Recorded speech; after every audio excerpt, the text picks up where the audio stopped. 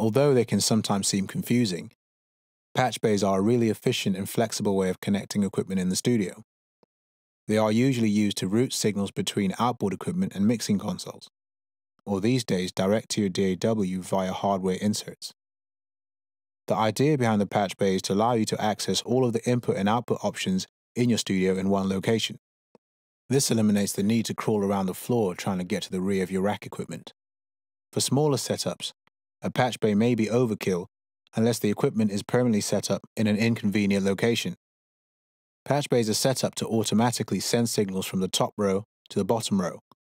Outputs should be set up on the top row and inputs on the bottom row. Patch bays can be configured in four different ways, depending on your studio equipment and workflow needs.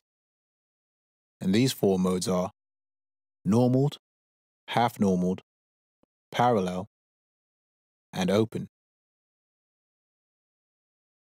Changing the way a patch bay is configured can be as simple as changing the switches on the top of the patch bay if your unit comes with them, or breaking out the soldering iron if not.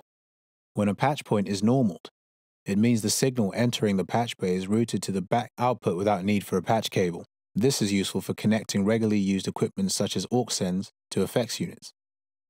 The aux send can be interrupted by inserting a patch cable and routing the signal elsewhere. In a half-normal mode, the patch bay works the same as the normal mode but allows you to patch from the output without interrupting the signal flow. This allows you to try alternative routing. Both normaled and half-normaled modes are ideal for effects and aux sends.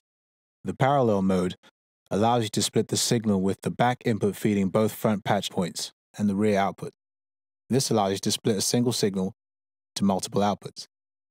In an open mode of operation, the patch bay will route any signal without the use of a patch cable. This mode is the best mode for insert units such as compressors, gates, and EQs. This is because it doesn't allow the units to feed back into themselves as the normaled and half-normaled modes would. Alright, so here is our patch bay, and we can use this to route signals around the console from uh, channels to particular pieces of gear. You can send groups, you can, uh, this is where we bus everything for our headphones, key gating. Uh, this is kind of, this is a very important part of our, part of our console. Now, for the demonstration, what we're going to do is we're going to we're going to send our bass, which you can hear nice and dry there. We're going to send it through an Empirical Labs distressor, which is a very nice crunchy compressor. And so that's on channel 12. And we'll just patch that into our distressor on the bottom there. And then from the top, back in to 12. Now, as soon as I plug that in, you can actually hear the, the compressor kicking in. And so that's sounding quite nice. And I've got I've got my settings all preset there, so we don't have to waste time with that. But uh, now what's, what's quite cool about a patch bay is, say I wanted a little bit more from my bass, like I'm quite liking that, but I want to see what else I can get out of it. So what I'm going to do now is patch from the distressor into our purple MC77 and we're going to patch straight back into 12 now,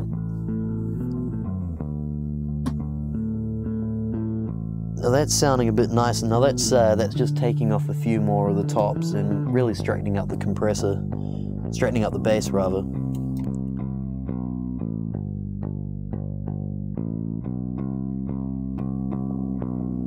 You can hear it just pulling up a few more of the lows and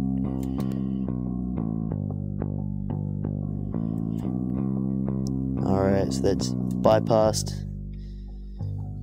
unbypassed. And that sounds pretty cool. So we might use that for our bass and uh, what else is cool about a patch bay is that you can patch it uh, pre-EQ, post-EQ, um, pre-recording, post-recording, and uh, you can really have a lot of fun with the gear here as well. It's quite cool. Hopefully, we now understand a little about the different elements that you'll encounter in Studio Signal Flow.